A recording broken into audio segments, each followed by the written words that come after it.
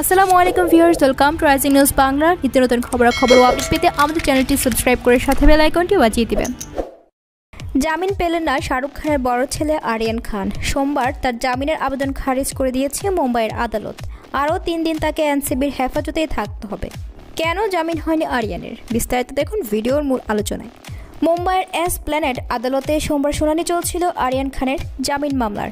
বিচারপতি তাকে সাত অক্টোবর পর্যন্ত এনসিবি হেফাজতে থাকার নির্দেশ দিয়েছে। শুনানি চলাকালীন আদালতের পর্যবেক্ষণ এ মামলা অত্যন্ত গুরুত্বপূর্ণ। তাই এর তদন্তে বাধা পড়া উচিত নয় এবং এ তদন্ত চলুক। আরিয়ান একানন তার সঙ্গে তিন দিনের এনসিবিতে হেফাজতে পাঠানো হয়েছে। তার আরও দুই বন্ধু, মুনমুন ধামেজা ও আরবাজ মার্চেন্টকেও শাহরুখ পুত্রের সঙ্গে এই দুজনকে রবিবার গ্রেপ্তার করে নার্কোটিক্স কন্ট্রোল ব্যুরো কর্মকর্তারা। এদিন আদালতে ধৃতদের হেফাজতের আবেদন জানিয়েছিল এনসিবি পক্ষের আইনজীবী অনিল সিং।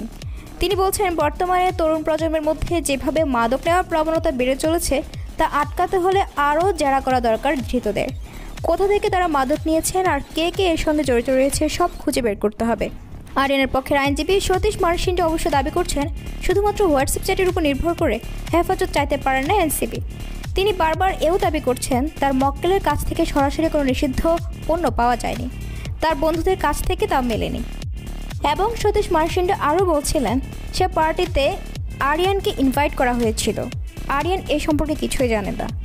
গোয়াগামী প্রমোত্তরতে তল্লাশি চালিয়ে রবিবার আটজনকে গ্রেপ্তার করেছে এনসিবি আরিয়ান ছাড়া তাদের মধ্যে রয়েছে মুনমুন ধামেচা আরবাজ মার্চেন্ট, ইসমতি মোহ, গোমতি চোপড়া, নূপুর সারিকা ও বিক্রান্ত চোকার। অফিসাররা বলছেন, আরিয়ান ও আরবাজের বন্ধুত্ব পনেরো বছরের। দুজনেই মাদকে আসক্ত। মাদক কেনাবেচার চক্রের সঙ্গে এদের যোগাযোগ রয়েছে বলে মনে করছেন তদন্তকারীরা। এনসিবিআই আইনের আওতায় তাদের গ্রেপ্তার করা হয়েছে।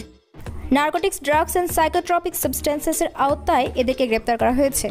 একই রুদ্ধদ্বার কক্ষে দীর্ঘ জিজ্ঞাসাবাদ শেষ পর্যন্ত নিজেকে ধরে রাখতে পারেননি আরিয়ান। কান্নায় ভেঙে পড়েন তিনি। আরিয়ান মাদক নেওয়ার কথা স্বীকার করে নেন। প্রথমে অনুশোচনা প্রকাশ করে জানিয়েছেন, জীবনে প্রথম তিনি মাদক সেবন করেছিলেন।